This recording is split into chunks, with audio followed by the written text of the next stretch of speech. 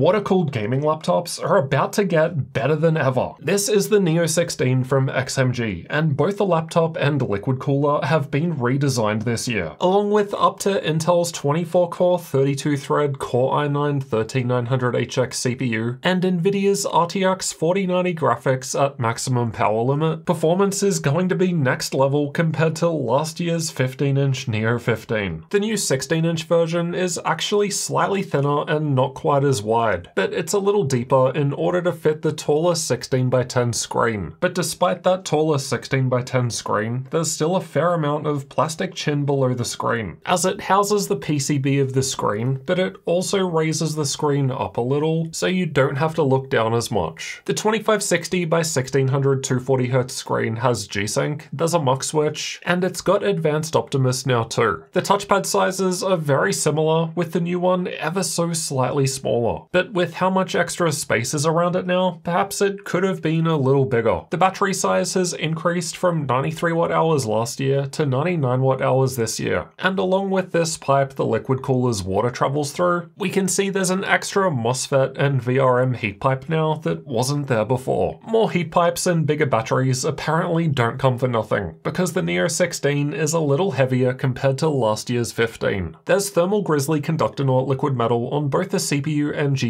Last year it was CPU only, but now it's both. Otherwise inside, we've still got two PCIe Gen 4 M.2 storage slots, removable Wi-Fi 6E card, and two memory slots which can support up to DDR5 6400 with XMP. XMG notes that this laptop will be available with specially optimized DDR5 6400 CL40 sticks, which I assume will cost more money, because that's quite a bit faster compared to last generation's DDR5 4800 CL40, and higher than what most other laptops are gonna offer this generation for that matter. Intel's HX processors are unlocked, and the BIOS gives you the options to customize and tune both the processor and memory. These are the sorts of performance boosts we're looking at with the different memory. Based on these results from XMG, for the most part, there are some decent improvements, though it will of course depend on the specific workload and how memory intensive it is. There's a mechanical keyboard with Cherry MX ultra low profile switches with per key RGB lighting, but it's an optional upgrade for more money. By default, it's got a silent membrane keyboard with four zones of RGB lighting. It's way louder compared to last year's version, and my partner summarized it best by saying that it feels like you're typing on a typewriter, as the keys do just require more effort to press down.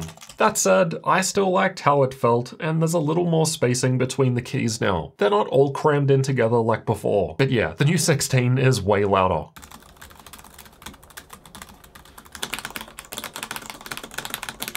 For the ports, the left side has a USB 3.2 Gen 2 Type A port and separate 3.5mm mic and headphone jacks. The right has an SD card slot and two more USB Type A ports, but slower 3.2 Gen 1 on this side. Then on the back from left to right, we've got the liquid cooler connector, Thunderbolt 4 slash USB 4 Type C port with DisplayPort 1.4a, HDMI 2.1 output, 2.5 gigabit Ethernet, and the power connector. The Ethernet port seems to be the same as last year year's Neo 17, where it's got this annoying bit of metal that you need to first push down with the cable before being able to get the cable in. I don't know, maybe I just didn't use it enough to get used to getting that cable in, but I'm not really a fan of that design. There's also RGB lighting in the rear ports now, kind of like Lenovo's Legion 7 from 2022, but you can of course turn them off if that's not your thing. And the front light bar from last year seems to be gone. The liquid cooler connector doesn't have a rubber cover anymore. It doesn't need it because the new one uses a self-sealing connector. This means that it now automatically closes when you pull out the cooler tubes, and it connects by magnets. Initially, I thought that connecting it by magnets might not be the best idea. What if you accidentally bump it? After watching Brandon's hands-on video on the Gizmo Slip Tech channel with Tom from XMG, it looks like a fair amount of force is needed. And I suppose even if you did accidentally bump it and disconnect it, it doesn't really matter. All that should happen is the laptop might start getting a bit warmer, and the fans might might start ramping up. Pulling it off at any time seems to be how you just disconnect it now. Another cool thing is that apparently you don't need to drain the loop in the laptop when you disconnect it anymore. So that makes it much more practical to just pull off the cooler and take the laptop straight away. Apparently it is still possible for some small water droplets to come out during this process, but overall it sounds like a much nicer improvement. I'll leave a link to that hands-on video with the cooler below this one, because as you can see, I've only got the laptop and not the new cooler yet. And don't worry if you've got a last gen cooler, because you can still use those with the new laptop. XMG says that you just have to replace the connector tubes. XMG provided this graph demonstrating the difference between air and liquid cooling with the new Neo 16. The two lines closer to the bottom show the GPU temperature over time in TimeSpy, with the orange line being air and the green line being liquid, which seems to settle in at about 10 degrees cooler. The lines above represent GPU clock speed, but divided by 10 so they could fit it on the same graph. So multiply by 10 for the actual clock speed. Again, green on water cooling is doing better, around 400 MHz faster after running the test for around 8 minutes. This graph shows the power usage of the GPU in the same TimeSpy stress test. It looks like air cooling can still maintain the maximum 175 watt power limit on the GPU in the TimeSpy stress test. And XMG notes that there's a significantly more powerful air cooling system compared to last year's Neo 15. That sounds great, but honestly,